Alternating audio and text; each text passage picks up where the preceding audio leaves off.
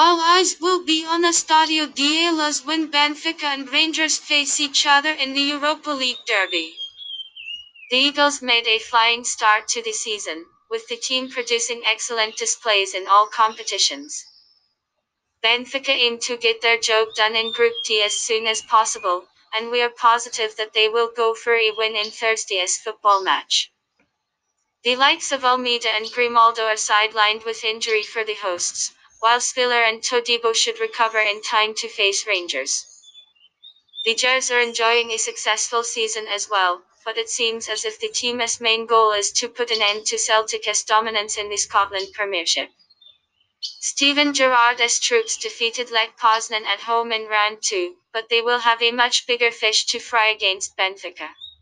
Defender Nikola Katic is likely to miss the game with injury for the visitors. Prediction 1 0.